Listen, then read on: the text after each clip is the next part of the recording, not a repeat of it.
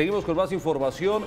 El caso de un menor de edad que resultó muerto luego de ingresar a una base en el sector de la Lizama, aquí en el departamento de Santander. Tiene un nuevo capítulo, se conocen nuevos detalles. ¿Qué ha pasado con este caso, Karen? Con este caso han existido, Johnny Televidentes, versiones encontradas desde que se supo precisamente sobre esta situación y que comenzaron a circular varios videos a través de redes sociales.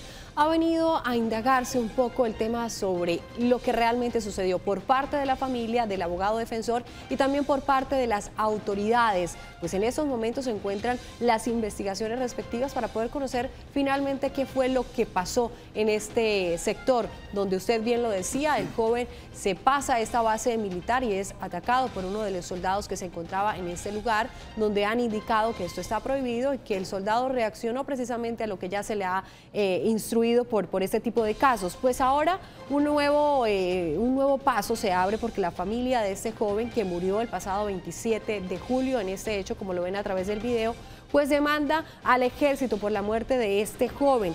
El abogado asegura en este caso eh, que no hubo legítima defensa por parte del militar, sino que hubo uso desproporcionado de la fuerza y de las armas que en estos momentos ellos tienen. Pues hay que decir que la familia también ha estado muy al tanto y ha demandado esta situación para que las autoridades y el ejército puedan en este momento decir lo que realmente sucedió.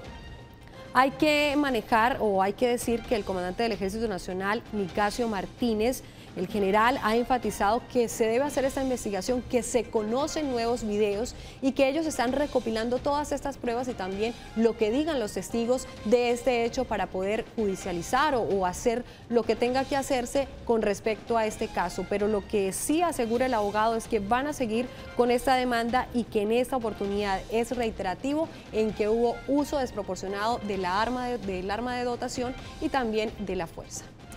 Muy bien, pues esperemos a ver qué pasa con este caso ocurrido allí en el sector de la Lizama, en la vía entre Barranca Bermeja y Bucaramanga.